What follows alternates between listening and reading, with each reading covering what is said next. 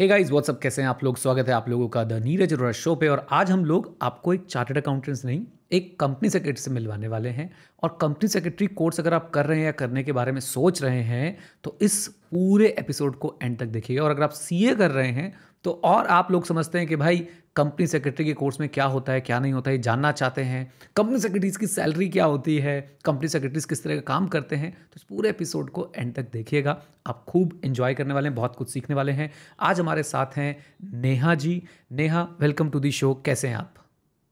So thank you so much first of all. Like uh, it's an honor to be on your show and uh, मैं बहुत बढ़िया हूँ। आप बताइए sir how are you how about you doing doing great Neha और इतने सारे ए मैंने देखे आपकी प्रोफ़ाइल पे। तो सी एस में तीन स्टेज होती हैं if I am not wrong foundation और जैसे हम्म। हमारा होता है foundation intermediate and final I think आपका होता है foundation executive and professional right तो yes, yes. तीनों स्टेज पे आपकी रैंक है? Is that true yes it is true sir like लोगों को ये बिलीव नहीं होता था तो मैंने उन लोगों को मार्कशीट दिखाई थी मेरी यूट्यूब पर इट्स ट्रू आई थी रैंक क्या yes. बात है। ग्रेट तो अपने आप को कैसे इंट्रोड्यूस करना चाहेंगे? या क्या बताना चाहेंगे अपने बारे में आज ऑडियंस तो सर लाइक एक I am a normal girl like sir जो एक, जिसका ड्रीम था कि उसको लाइफ में कुछ अचीव करना है। So I chose C S as my career and I clear out my C S in the year twenty twenty with an all India rank in all the three stages उसके बाद Tata capital limited में I started my internship I also started my YouTube during my internship and उसके बाद I also started L L B और internship तो खत्म हो गई है एलएलबी के लास्ट ईयर में हूँ और अभी जॉब कर रही हूँ। क्या बात है दैट्स अमेजिंग तो सबसे पहला सवाल तो नेहा, मैं आपसे ये पूछना चाहूँगा कि why not C A why C S क्योंकि ऐसा माना जाता है कि सी ए ज़्यादा फ़ेमस है सी ए में ज़्यादा बच्चे आते हैं और जिस तरह से आपने बताया कि रैंक्स आपके पास आए हुए हैं इतने सारे तो आपने कभी सी ए करने के बारे में सोचा ही नहीं? या सोचा था उसे ड्रॉप करके फिर सी एस में आया आप? Sir to be very honest जब मैं एच में थी अपने ट्वेल्थ में, तब मुझे आया था, क्योंकि कॉमर्स में क्या ही ऑप्शन बचता है ना? सी करो सी करो, ऐसे ही ऑप्शन रहते हैं। तो बहुत सारे मेरे फ्रेंड्स सीए कर रहे थे। एंड मैंने भी सोचा, चलो, कुछ सीए जैसा ही करते हैं but somehow I got to know about CS and बोलते ना, कुंडली मिल गई मेरी सीएस के साथ। मतलब पूरा थियोरी सब्जेक्ट है जो मुझे पसंद है लॉ है जो मुझे पसंद है। एंड अगर आप देखोगे तो सर सीएस का ड्यूरेशन काफ़ी कम है। लाइक मेरे टाइम पे थ्री इयर्स में you are a C S and C A में इट टेक्स फाइव ईयर्स तो मुझे जल्दी जल्दी कुछ करना था जिसमें मैं जल्दी जल्दी फाइनेंशियल इंडिपेंडेंट बन जाऊँ और कोर्स का जो सिलेबस था पूरा मैच हो रहा था। इसलिए मैंने सी एस किया and it's true sir C S का अपना एक डिमांड है मार्केट है सी ए का अपना एक डिमांड है मार्केट है। तो इस बात का तो डर नहीं था कि सी एस में जाके आगे कुछ होगा नहीं। लाइक like, अभी बहुत अच्छा ही हो रहा है तो I think it's my right decision एक एक कंट्रोवर्शियल मुद्दा मैं आपके साथ उठाना चाहता हूँ। कई बार इस बात पे कंट्रोवर्सी हो चुकी है यूट्यूब पे भी हो चुकी है कि सी ए बड़ा है कि सी एस बड़ा है कि सी ए में बड़ा है। ऑल मैं सबको यही समझाने की कोशिश करता हूँ। चलो मैं अपनी बात बाद में बताऊँगा लेकिन पहले मैं आपसे सुनना चाहूँगा कि आपको कभी कोर्स के दौरान ऐसा कुछ सुनने को मिला या किसी ने ऐसे परेशान किया कह के क्या सी एस कर रहे हो? सी ए क्यों नहीं करते हो? या कुछ इस तरह की बात बोली। पूछो मत सर सपने में आता था लाइक अंटिया आस पास की अरे सीएस क्या होता है? कंप्यूटर साइंस कर रहे हो? मतलब कोई कोई मज़ाक उड़ाने के लिए काउंटर स्ट्राइक कुछ भी बोलते थे और यही एडवाइस देते थे कि तुम ये सब छोड़ो सीए कर लो सीए अच्छा होता है नो no डाउट हम वो सब इग्नोर करते थे और हम उनको नादान समझकर माफ़ कर देते थे कि हम्म। छोड़ो इन्हें नहीं आइडिया क्या होता है ये सब एंड हम्म। मैं तो अपने गोल पे फोकस थी कि सीएस ही करना है राइट right. और मेरा तो एक बहुत सिंपल सा कहना है स्टूडेंट्स को इस बारे में देखो हर कोर्स की अपनी एक स्पेशलाइजेशन है अगर आपने सीएस को चूज़ किया या सी को चूज़ किया सी ए को चूज़ किया है तीनों ही बहुत बढ़िया बहुत अमेजिंग कोर्सेज हैं और तीनों आपको एक रेपुटेड जॉब जो है वो दिलवा सकते हैं। तो कभी भी ऐसा किसी को भी देख के कि यार तू सीएस क्यों कर रहा है या सी क्यों कर रहा है या सीए वालों को देख के कि तू भाई सीए क्यों कर रहा है ये सब नहीं कहना चाहिए। और कोर्स कोई भी बड़ा छोटा नहीं होता उसे करने वाला कितनी मेहनत कर रहा है ये सारी बातें जो है इस पर डिपेंड करती हैं। Great very true great yes. बहुत बढ़िया नेहा। तो आई थिंक ये ये तो हर सी एस और सी एम वाले बच्चे बहुत झेलते हैं। मेरे पास आते हैं स्टूडेंट्स कई बार वो बोलते हैं कि सर ऐसे हमारे साथ हो रहा है। और इवन कई बार मैंने ऐसे देखे कई टीचर्स भी ऐसा कर देते हैं कि वो सी एस और सी एम ए को ना ऐसा थोड़ा सा ना मतलब दर किनार कर देते हैं। एग्जैक्टली एग्जैक्टली हाँ. तो वो भी गलत है स्टूडेंट्स भी गलत हैं इस पार्ट में और टीचर्स को भी ऐसा नहीं करना चाहिए। मेरे हिसाब से मतलब एज अ टीचर सी मैं अगर टैक्स पढ़ाता हूँ तो मैं मेरे पास सी एस वाले बच्चे भी आते हैं। सी में वाले बच्चे भी। आते हैं तो मैं कभी ऐसे बाइफोकेट नहीं करता तू सीएस वाला तेरे को ये करेंगे या वो करेंगे तो अब ये बताएँ मुझे अगर मैं सी एस की जर्नी के बारे में और बात करूँ तो ये रैंक्स हम्म। रैंक्स का सिलसिला कैसे जो है ये बना और इससे पहले मैं आपके और बैकग्राउंड को जाना चाहूँगा तो कौन सी स्टेट से हैं आप तो सर महाराष्ट्र से हूँ और नॉर्मल मैंने लाइक आईसीएससी ऐसा कुछ बोर्ड सिलेक्ट नहीं किया था नॉर्मल एसएससी बोर्ड से ही हूँ हम्म। और उसके बाद एचएससी में मैंने जब एनरोल किया था। तो वहाँ पे एक प्रोफेसर थे तो मुझे उनको पूछना था, मैंने सीएस सिलेक्ट कर लिया था कि सीएस करना है तो एक प्रोफेसर थे, उनको पूछा था कि कुछ अच्छा क्लासेस बता दो। तो उन्होंने एक अच्छा क्लासेस सजेस्ट किया, वहाँ से मेरी फिर सीएस की जर्नी स्टार्ट हो गई। अब वो क्लासेस में क्या है ना, जो प्रोफेसर थे, वो ऑल इंडिया रैंकर्स थे जो पहले के, उनसे मिलवाते थे। और मेरे लिए तो ये हमेशा ऐसा था कि, अरे, मैं कैसे कर लूँगी ये? ऑल इंडिया रैंक मतलब छोड़ो, हमारा नहीं है, हम तो बस पढ़ाई में फोकस करते हैं। मेरा कभी भी ये गोल नहीं रहा था कि मुझे ऑल इंडिया रैंक लाना है। कभी भी नहीं। यही गोल था कि मुझे अपना हंड्रेड परसेंट देना है। जो भी करूँगी रिग्रेट नहीं रहना चाहिए एग्ज़ाम के बाद। तो उसी तरीके से फाउंडेशन में तो सर बहुत इजी होता है। जो अभी सी एस हो चुका है इट इज़ वेरी इजी उसमें भी बहुत मेहनत करी एंड उसमें ऑल इंडिया रैंक आ गई। तब थोड़ा खुद पर भरोसा हुआ कि शायद पॉसिबल है। अच्छी मेहनत करेंगे तो कुछ भी हासिल हो सकता है। एग्जीक्यूटिव में फिर उससे तगड़ी मेहनत करी और पता था कि एग्जीक्यूटिव में वन परसेंट रिज़ल्ट ही आता है। तो क्लियर होना ही मुश्किल है। ऑल इंडिया रैंक का तो क्या ही फिर। उसमें पास्ट पेपर सर बहुत इंपॉर्टेंट होते हैं। जो भी था, जो भी हमें सर बोलते थे, जो भी मैं यूट्यूब से मैराथॉन्स देखती थी ऑल इंडिया रैंकर्स से सुनती थी, वो सब अप्लाई कर मतलब करती रहती थी और कभी भी रिज़ल्ट के बारे में नहीं सोचा था। कि रिज़ल्ट मुझे ऐसा चाहिए वैसा चाहिए कभी नहीं। बस प्रोसेस पे ध्यान देती थी पढ़ती रहती थी और टैक्स का पेपर बहुत खराब गया था मेरा हम्म, तो हम्म। ऐसा हो गया था कि अब तो क्लियर नहीं होने वाला छोड़ो जान दो। बट आई डोंट नो कैसे टैक्स में एग्जामेशन आ गई मुझे ऑल इंडिया रैंक भी आ गई सिंगल डिजिट की वो भी एग्जीक्यूटिव में। तब कंफर्म हो गया कि भाई सीएस कोई लक वक का खेल नहीं है मेहनत का खेल है तुम जितना मेहनत करोगे तुमको उतना रिज़ल्ट मिलने ही वाला है। प्रोफेशनल में भी मेहनत करी वैसे ही लेवल की एक बार आपको आइडिया आ जाता है ना कि अच्छा ये सब करेंगे तो क्लियर हम्म। हो जाओगे। सही ट्रैक पर जा रही हूँ मैं। वही फिर प्रोफेशनल पे भी uh, मैंने टेक्निक लगाई एंड वो भी क्लियर हो गया मेरा। तो यस ग्रेट बहुत बढ़िया। अब uh, मैं आपसे एक क्वेश्चन पूछने वाला हूँ। आप चाहें तो उसका जवाब इग्नोर कर सकते हैं क्योंकि ऐसा कहा जाता है कि लड़कियों से ये क्वेश्चन नहीं पूछना चाहिए। सो so, किस एज में किस एज में ये सब आपने कर लिया? 2020 में आपकी क्या एज थी जब आपने अपना सीएस क्लियर कर लिया था? सर मतलब मैं ट्वेंटी इयर्स की थी जब हम्म। मेरा हो गया था सब कुछ। वाओ मतलब बीस साल की उम्र में आपने देश के एक बहुत अमेजिंग कोर्स को जो है वो कंप्लीट करके रख दिया था और बीस साल की उम्र में लोगों की एक्चुअली में ग्रेजुएशन कंप्लीट नहीं होती if I am not wrong sir मेरा भी नहीं हुआ था ग्रेजुएशन कंप्लीट मेरा भी पहले सीएस क्लियर हो गया था उसके बाद ग्रेजुएशन कंप्लीट हुई। Okay hmm, okay. अब आप मुझे ये बताओ कि टाटा कैपिटल ये कैसे हुआ कि और उस समय आप कितने एज के थे जब आप टाटा कैपिटल में गए क्योंकि मैं एज बार बार इसलिए पूछ रहा हूँ क्योंकि हम ना हमेशा सोचते हैं कि नहीं भैया ये तो तीस साल की उम्र में प्रोफेशनल बनेगा पच्चीस साल की उम्र में प्रोफेशनल हम्म। बनेगा तो टाटा कैपिटल हम्म। कैसे हुआ और टाटा कैपिटल में आप जब गए आपकी एज क्या थी उस समय तब सर तभी भी ट्वेंटी थी जब मैं टाटा कैपिटल में गई लाइक जब मेरा रिज़ल्ट अनाउंस हुआ था फेब में मार्च हम्म। में आ गया था लॉकडाउन। तो Feb twenty eight Feb twenty fifth Feb को रिज़ल्ट अनाउंस होता है उसके बाद मैं ईडीपी e वगैरह हमारा जो ट्रेनिंग होता है वो कर रही थी। साइड बाय साइड इंटरव्यूज़ दे रही थी।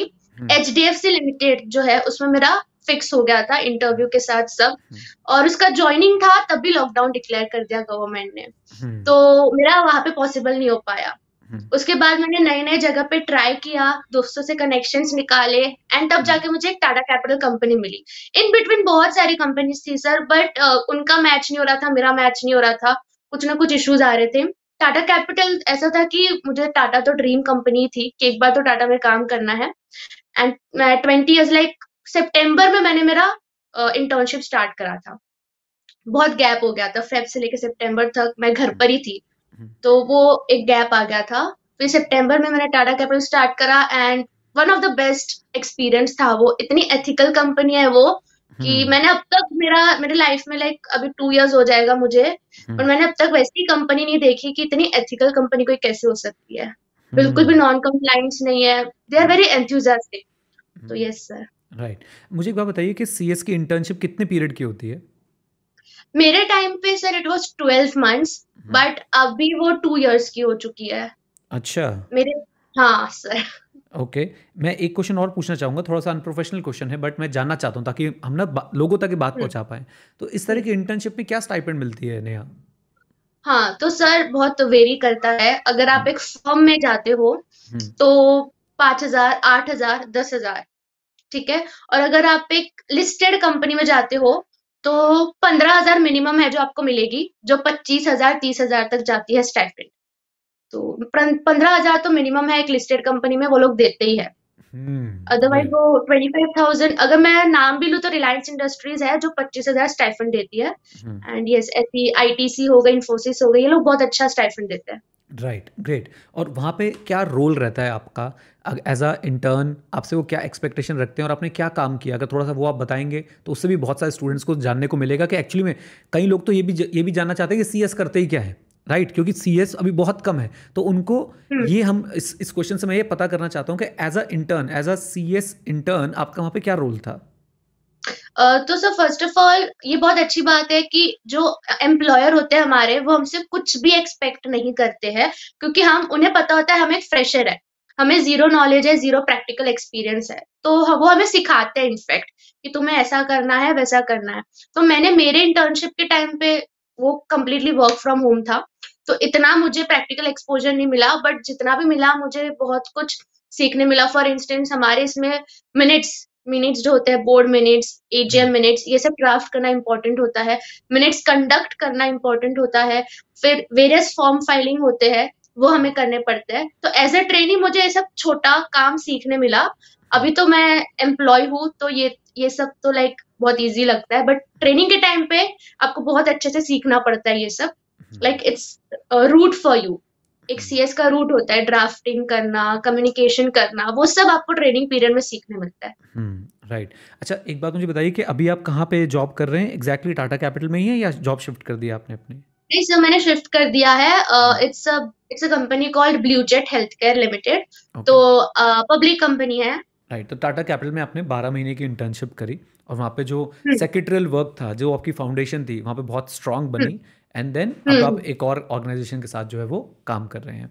यहाँ पे एक एक बहुत इंपॉर्टेंट बात है और आई डोंट नो मैं इसको यू नो स्वीटली कैसे पूछूँ? तो मैं रूडली पूछ लेता हूँ। लोग बाग ऐसा बोलते हैं कि यार सीएस को ना सैलरी कम मिलती है। कि सी एस की ना सैलरी एक्चुअली में मार्केट में आ, कोई वैल्यू नहीं है। कोई मैं आई एम रियली सॉरी मैं वर्ड्स यूज़ कर रहा हूँ बट मैं लोगों की बात आप तक पहुँचाने की कोशिश कर रहा हूँ। मुझे लगता है कि यू you नो know, आप दो साल से इंडस्ट्री में बिल्कुल फ्रेशर हैं। आप दो साल आपने बिल्कुल कंपनीज़ के साथ कॉम्युनिकेशन किया है नेगोशिएशन किया है सैलरीज को लेकर तो मैं आज फ़र्स्ट हैंड जानना चाहता हूँ क्या सी एस जो सी एस हैं उनको सैलरी अच्छी मिलती है या नहीं मिलती है? मार्केट में अपॉर्चुनिटीज़ हैं या नहीं है? क्या सीन चल रहा है मार्केट में? तो sir thank you for asking this question like इस वीडियो के थ्रू सबसे पहले तो यही बात बच्चों को पहुंचानी है कि सीएस में क्या डिमांड है मार्केट में क्या डिमांड है. तो first of all sir depend करता है आप कौन सी कंपनी सिलेक्ट करते हो. लाइक यू नो आपको बाबू कंपनी है सबका टर्म पता होगा. छोटी मोटी प्राइवेट कंपनीज़ होती है. अगर उसका सैलरी आप कंपेयर करोगे तो वो बिल्कुल मतलब का नहीं है. उसमें तो डेफिनेटली हम्म। कुछ भी सैलरी नहीं मिलती. बट अगर हम अच्छे company public company listed company में जाए तो बहुत अच्छी सैलरी मिलती है। लाइक like, मैं मिनिमम फ्रेशर सैलरी का आपको रेंज बताऊँ मिनिमम तो छह से सात लाख पर एनम आपको मिल जाती है। हम्म। उससे ऊपर आप फेच कर सकते हो डेफिनेटली कर सकते हो। आपके पर्सनैलिटी पे कंपनी के you know rules and regulation पे डिपेंड करता है। Like one of my friend जो एक बहुत अच्छे कंपनी में है उसका ten lakh per annum fresher है। सैलरी हम्म। है वो फ्रेशर है मेरे साथ ही हुआ था बट वो एक अच्छी लिस्टेड कंपनी में गया था। तो इट कम्प्लीटली डिपेंड्स आप कौन से कंपनी में जा रहे हो। मार्केट में डिमांड तो बहुत है। सी अगर आप जॉब नहीं करना चाहते तो आप प्रैक्टिस कर सकते हो। Practice hmm. नहीं करना चाहते तो टीचिंग कर सकते हो। हम्म। है ना? बहुत ऑप्शन है सर राइट मतलब ऑप्शंस की कमी नहीं है और at the end of the day मतलब मैं तो एक लाइन बोलता हूँ मैं तो एक टी शर्ट बनवा रखी है कि स्कोप कोर्स का नहीं बंदे का होता है। मतलब जो उसे कर रहे हैं वो उसके करने वाले का होता है। तो अगर आप सीए करते हो तो सीए में भी ऐसा देखो मैं सीए की फ़ील्ड के बारे में बता सकता हूँ। सी में भी ऐसा है कि आपको कम सैलरी वाली जॉब्स मिलेंगी आपको एक एवरेज सैलरी वाली जॉब मिलेगी और आपको बहुत अच्छी सैलरी वाली भी जॉब मिलेगी। तो आई थिंक ये मैसेज हमारा बिल्कुल क्लियर है कि बिल्कुल भी कोई ऐसे ना बोले कि भाई सीएस को जॉब नहीं मिलती या सीएस की सैलरीज कम है या सीएस की मार्केट में डिमांड नहीं है। मार्केट में डिमांड हमेशा से मैं मेरे को लगता है हर चीज़ की है। अगर आपके पास वो स्किल हम्म। है जो सामने वाले मार्केट वाले को चाहिए तो आई थिंक आपकी डिमांड डेफिनेटली है ओके okay. यहाँ पे मैं एक सवाल पूछना चाहता हूँ क्योंकि हम स्किल्स के बारे में बात कर रहे हैं तो अगला क्वेश्चन एक एक, एक स्टूडेंट का ये आ सकता है कि नेहा मुझे ये बताइए कि अब किस तरह के स्किल्स बनाएँ हम लोग किस तरह के स्किल्स डेवलप करें तो ड्यूरिंग दीज थ्री ईयर्स ये जो तीन साल वो पढ़ाई करता रहता है उस समय वो किस तरह के स्किल्स एक्वायर करे? एंड आपने बताया वो दो साल की अब ट्रेनिंग भी हो गई है तो उसमें किस तरह के स्किल्स हम्म। एक्वायर करें? तो लेट्स टॉक अबाउट स्किल्स आपको क्या लगता है कि क्योंकि अब आपने दो एम्प्लॉयर्स देख लिए हैं एक टाटा कैपिटल जैसी कंपनी देख ली आप एक और पब्लिक कंपनी में काम कर रहे हैं राइट हम्म। तो ये कंपनी किन स्किल्स को वैल्यू करती है? क्या चाह रही है ये? तो सर सबसे पहले तो जब आप पढ़ाई करते हो तीन साल का आपका ड्यूरेशन होता है तभी तो आई वुड एम्फोसाइज कि आप पढ़ाई पे ही फोकस करो। एक बार सीएस क्लियर हो जाओ फिर इंटर्नशिप में आपको मौका मिलता है अपने स्किल्स को डेवलप करने का तब आप लोग एक अच्छा सा कंप्यूटर जो स्किल होता है कोर्स होता है उसको ज्वाइन कर लेना क्योंकि बीइंग अ सीएस आपको जो माइक्रोसॉफ्ट वर्ड हो गया पीडीएफ हो गया यू नो अडोप ये सब बहुत हम्म। बहुत अच्छे से यूज़ करना आना चाहिए ये बहुत इंपॉर्टेंट है ये मुझे किसी ने नहीं कहा था मुझे हम्म। फिर बहुत प्रॉब्लम हुई थी। तो ये कंप्यूटर स्किल्स आनी चाहिए। सेकेंड इज़ कम्युनिकेशन स्किल्स क्योंकि हम जो होते हैं वो मीडिएटर होते हैं between government regulators and the company तो हमें दोनों के साथ कम्युनिकेशन करना आना चाहिए। हम हम लाइक डायरेक्ट एक्सेस है हमको बोर्ड ऑफ़ डायरेक्टर्स के साथ। हम्म। तो हम हमारी जितनी अच्छी इंप्रेशन बनाएँगे जितना अच्छे से बात करेंगे बोर्ड ऑफ़ डायरेक्टर्स के साथ उतनी अच्छी कंपनी की रेपो बढ़ेगी। हम्म। तो if you know how to speak you know एकदम कन्विंसिंग टोन के साथ अगर आप बात कर रहे हो तो वो बहुत इंपॉर्टेंट है। तो कम्युनिकेशन स्किल्स डेवलप होने चाहिए। एंड थर्ड मैं ये बोलूँगी कि आपको वर्सेटाइल uh, होना पड़ेगा हम्म। क्योंकि आप डिफरेंट लोगों के साथ बात करने वाले हो डिफरेंट डिपार्टमेंट के साथ डील करने वाले हो। हर एक डिपार्टमेंट हम्म। आपके पास आने वाला है कि अरे यार हमको बी चाहिए हमको ये चाहिए वो चाहिए तो you should be versatile in handling all the things guys इससे पहले आप लोग आगे बढ़े, मैं आप लोगों को एक बात बताना चाहता हूँ। अगर आप लोग भी अपने कम्युनिकेशन स्किल्स सुधारना चाहते हैं आप लोग भी सीखना चाहते हैं एक्सेल पावर बीआई और बहुत सारे और ऐसे सॉफ्टवेयर जो आपकी लाइफ में आपको बहुत काम आने वाले हैं तो आप लोग हमारी वेबसाइट चेकआउट कर सकते हैं W W W dot skill ninety one dot com and in in दोनों ही वेबसाइट्स पे आपको ऐसे कोर्सेज मिलेंगे जो आपकी प्रोफेशनल डेवलपमेंट करने में आपकी बहुत मदद करेंगे, आपकी अच्छी इंटर्नशिप्स आपकी अच्छी जॉब्स और आपके करियर की ग्रोथ में आपकी बहुत ज़्यादा मदद करेंगे। So do checkout skill ninety one dot com and thinking bridge dot in right and yes in website पर जो भी कोर्सेज हैं उनके प्राइसेस बहुत कम है लेकिन हम लोग हमेशा आप लोगों को कुछ ना कुछ स्पेशल ऑफर्स देते रहते हैं। तो जो भी इस समय कोड चल रहा होगा वो आपको स्क्रीन पर दिख जाएगा। उस कोड को आप चेकआउट करते समय यूज़ कर सकते हैं और आपको एक्स्ट्रा डिस्काउंट्स भी मिल जाएँगे। ये बड़ी एक दुख की बात है राइट uh, right. और इस C S C S C M में तीनों में बड़ी दुख की बात है कि हमें आज भी स्टूडेंट को समझाना पड़ रहा है कि कंप्यूटर चलाना सीख लो। राइट हाँ। वर्ड सीख लो एक्सेल सीख लो पावर पॉइंट सीख लो या हम्म। जैसे आपने बताया कि अडोब के कुछ पीडीएफ सॉफ्टवेयर वगैरह सीख लो तो एक अगर मैं आपसे बोलूँ कि कुछ सॉफ्टवेयर्स के अगर आप नाम बताएँ जो आप डेली बेसिस पे यूज़ कर रहे हैं एज अ कंपनी सेक्रेटरी तो वो क्या सॉफ्टवेयर होंगे? सर सबसे पहले तो अडोप अडोप डेली बेसिस पे यूज़ होता है उसके बगैर हमारा काम नहीं चलता क्योंकि आरओसी के जो फॉर्म्स है वो अडोप से ही ओपन होते हैं। हम्म। फिर वर्ड वर्ड भी होता है इम्पोर्टेंट उसमें बहुत सारे फीचर्स होते हैं। हम्म। वो हम लोग डेली यूज़ करते हैं। uh, ये कंप्यूटर सॉफ्टवेयर तो नहीं है बट एक नॉर्मल uh, वेबसाइट है एमसीए करके। वो अच्छे से हमें सीखना पड़ेगा एमसीए जो हम हमारा डेली का यूज़ होता है उसमें। उसमें डे टू डे यूज़ होता है जिसमें बहुत सारे फीचर्स है बहुत सारा इंफॉर्मेशन uh, है। वो कहाँ से निकालना है क्या करना है एमसीए वेबसाइट अच्छे से यूज़ करना आना चाहिए। सर ये ये बहुत इम्पोर्टेंट मतलब आपको पीडीएफ के साथ खेलना बड़ी अच्छी तरह से आना चाहिए। हाँ, आपको हाँ, वर्ड बड़े अच्छी तरह से आना चाहिए और आपको एम की वेबसाइट की एक थॉरो नॉलेज हो कि भाई आपको कोई भी डेटा किसी कंपनी का निकालना हो या आपको कोई फॉर्म्स फ़ाइल हम्म। करने हो फॉर्म्स हम्म, डाउनलोड। करने हो कोई यूटिलिटी डाउनलोड करनी हो तो वो आप कर पाए right true yes sir great आपने जैसे टाटा कैपिटल ज्वाइन किया तो आपका ऑप्शन होगा कि यार मैं फर्म भी ज्वाइन कर सकती थी राइट कोई सी एस फर्म भी ज्वाइन कर सकती थी। तो आप क्या सजेस्ट करेंगे सी एस स्टूडेंट्स को कि भाई फर्म ज्वाइन करें या इस तरह से कोई लिस्टेड कंपनी को ज्वाइन करें। सर मेरा ना हमेशा से लिस्टेड कंपनी का माइंडसेट था। लाइक like, मुझे कभी भी नहीं आया कि मुझे फर्म में जाना है क्योंकि फर्म में क्या होता है ना I am not degrading anyone but firm में ऐसा होता है कि मोनोटोनस काम करवाते हैं तुमसे कम पे में। हम्म। तो पैसा भी कम है काम भी ज़्यादा है। तो कुछ मतलब नहीं बनता फर्म में जाके काम करने से। अगर कोई अच्छी खासी रिनाउंड फर्म है बहुत अच्छी खासी रिनाउंड फर्म्स है।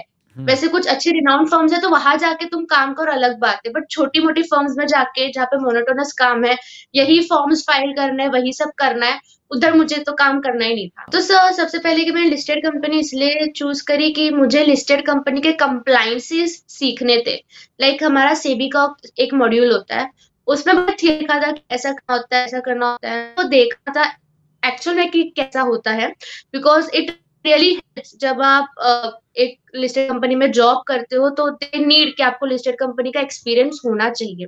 हम्म। इसलिए मैंने वो सिलेक्ट किया एंड सेकेंड चीज़ आप एक छोटे से फर्म में जाओगे तो वो एनवायरमेंट जो प्रोफेशनल एनवायरमेंट होता है वो आपको नहीं मिलता है। वो प्रोफेशनल एनवायरमेंट आपको सिर्फ़ एक लिस्टेड कंपनी या एक अच्छी कंपनी में मिल सकता है। जहाँ पे एक प्रॉपर कम्युनिकेशन स्किल हो प्रॉपर यू नो ट्रेनिंग हो दैट्स वाई एंड स्टाइफेंड भी अच्छा होता है। राइट राइट मतलब आपके पास क्लियर रीजंस थे कि भाई मुझे लिस्टेड कंपनी में जाना है और क्यों जाना है। दैट इज़ ग्रेट अच्छा यूट्यूब के बारे में बात करते हैं फिर हम आगे की बात करेंगे। तो यूट्यूब कैसे हुआ और यूट्यूब पे क्या चल रहा है आज की डेट में किस तरह का कंटेंट आप क्रिएट करते हैं? तो सर मतलब बहुत अनएक्सपेक्टेडली uh, हुआ था ये। लाइक like, मैं लॉकडाउन जब हुआ था मैं इतनी घर पे बैठे बैठे बोर हो गई थी कि I wanted to do something तो मैंने वीडियोस बनाना चालू किए। पहले मैं बुक रिव्यू वीडियोस आती थी। इतने उसमें व्यूज़ नहीं आते थे। देन आई थॉट कह रहे मैं सी एस हूँ। चलो सी एस का ही एक वीडियो बनाते हैं ना।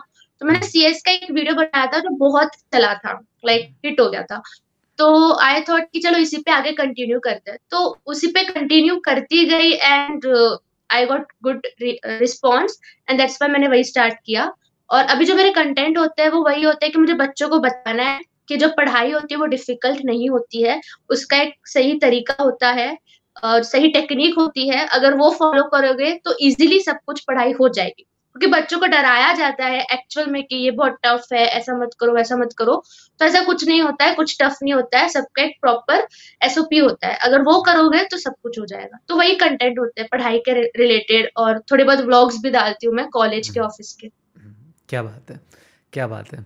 आ, अब मुझे बताइए कि आगे क्या सोच रहे हैं? क्योंकि अभी आपकी एज बहुत कम है राइट और आपने मैं बोलूँगा कि काफ़ी कुछ एज अ प्रोफेशनल आपने काफ़ी कुछ अचीव कर लिया है right at the age of twenty two आप एक अच्छी कंपनी में जॉब कर रही हैं आपका एक अपना चैनल है आप बच्चों को गाइड भी कर रही हैं आपके पास तीनों लेवल पर रैंक है आपके पास एक one of the best Indian business houses का आपके पास जो है वर्किंग एक्सपीरियंस है टाटा कैपिटल के साथ का। तो आगे यहाँ से आप क्या सोच रहे हैं? सर आगे लाइक like, एक टाइम पे कंफ्यूजन आता था कि क्या करे यूट्यूब का करे कि जॉब का करे क्योंकि मैनेज नहीं हो पाता है बट हम्म। अभी मैंने डिसाइड कर लिया है कि मुझे जॉब ही करना है और साइड बाय साइड यूट्यूब भी मेंटेन करके रखना है तो फ़िलहाल फाइव सिक्स इयर्स तक तो मेरा यही फंडा रहेगा कि यूट्यूब और जॉब दोनों पे फोकस करके रखना है और दोनों पे ग्रो करना है हम्म। अभी तो यही फ़िलहाल मेरा प्लान है राइट right. एंड uh, मुझे ये भी पता चला है कि आप एल भी कर रहे हैं हाँ हाँ कर रही हूँ। लास्ट ईयर है सर लास्ट ईयर तो रेगुलर कॉलेज जाते हैं आप एलएलबी के लिए? बिल्कुल नहीं मतलब कैसे पॉसिबल होगा अगर मैं रेगुलर कॉलेज जाऊँगी हम्म, तो? लाइक ज़ीरो परसेंट अटेंडेंस वाली कॉलेज मैंने सिलेक्ट की है। तो हम्म। सिर्फ़ एग्ज़ाम देने जाती हूँ और अभी एग्ज़ाम हम्म। खत्म हुए मेरे जस्ट सेवन दिसंबर को। तो बस एग्ज़ाम देने जाती हूँ और पेपर काफ़ी इजी लगता है क्योंकि ऑलरेडी सीएस बन चुके हैं। तो हंड्रेड परसेंट सिलेबस वही है जो सीएस में था। राइट राइट तो इतना ज़्यादा हाँ इतना ज़्यादा पेन फील नहीं होता वो जाके आपने देना। वैसे भी यू नो मैं तो भूल गया था रैंक होल्डर्स को क्या पेन फील होना है? कोई ऐसा नहीं है सर जो जो रैंक होल्डर्स नहीं है उनके हाँ। लिए भी बहुत इजी है वो। यस राइट क्या मैसेज देना चाहेंगे जो बच्चे क्लास ट्वेल्थ में हैं? उन वो सीएस अगर करना चाह रहे हैं तो उनको कैसे क्या मैसेज देना चाहेंगे? कब करें, कब ना करें, कौन करें, कौन ना करें, क्या बोलना चाहेंगे? तो मैं बस इतना बोलूँगी कि इफ़ यू आर समवन जिसको थियोरी ज़्यादा पसंद है प्रैक्टिकल से, और जिसको legal word you know explore करना है तो C S is for you और अगर आप एक बार सी एस में जा रहे हो तो प्लीज़ ये माइंडसेट ज़रूर रखना कि मुझे अभी अपने जो तीन साल है वो कंप्लीटली इसमें देना है क्योंकि ये कुछ खाने का काम नहीं है है ना? आप ऐसा मत सोचो कि सी एस के साइड बाय साइड हम एम बी ए भी कर लेंगे सी एस के साइड बाय साइड ये भी कर लेंगे ऐसा नहीं होता है। मैंने खुद ने सी एस के बाद ही एल एल बी स्टार्ट किया तो if you are into C S you are into C S क्योंकि ये तीन साल अगर आप दे रहे हो तो आगे के पचास साल आपके सिक्योर होने वाले हैं। हम्म। तो तीन साल सी एस आपको करना है और डोंट लाइक like, आजकल के जो बच्चे होते हैं ना सर बहुत स्टबन होते हैं। वो लोग ऐसे किसी की एडवाइस सुनते ही नहीं है। जो उनका अच्छा चाहते हैं, वो भी नहीं सुनते हैं। तो आप लोगों को अगर किसी की बातें सुननी है तो उन लोगों की सुनो जो एक्सपीरियंस्ड है इस फ़ील्ड में, जो ऑलरेडी क्लियर कर चुके हैं, उनकी एडवाइस सुनो और देखो कि वो लोग किस तरीके से क्लियर हुए हैं, क्या पढ़कर क्लियर हुए हैं, क्या गलतियाँ उन्होंने की, जो आप ना करो।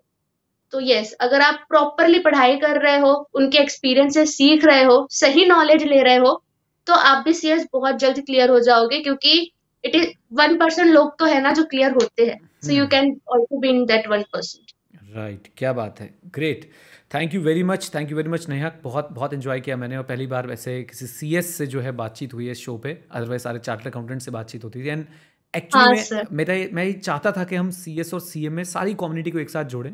क्योंकि तीनों ही कोर्सेज बहुत अच्छे हैं तीनों ही प्रोफेशनल्स बहुत बढ़िया काम कर रहे हैं। और मुझे लगता है कि इस वीडियो से सी एस स्टूडेंट्स को तो मोटिवेशन मिलेगी ही और वो लोग जो सी एस करना चाह रहे हैं उनको भी मोटिवेशन मिलेगी। और सी ए वालों का भी जो कई बार हमें दिखा है कि कुछ कुछ ही स्टूडेंट्स हैं चाहे एक परसेंट ही हैं कुछ टीचर्स हैं उनका देखने का नज़रिया इस कोर्स को जो है वो बदलेगा हम्म। और हम एक अच्छा मैसेज जो है वो दे पाएँगे। Thank you very much Neha thank you thank you so much sir I hope ये जो हमारा कॉन्वर्जेशन था वो बच्चों के यूजफुल है and many more videos to go sir Thank Best you. of luck. Thank you, sir. Bye.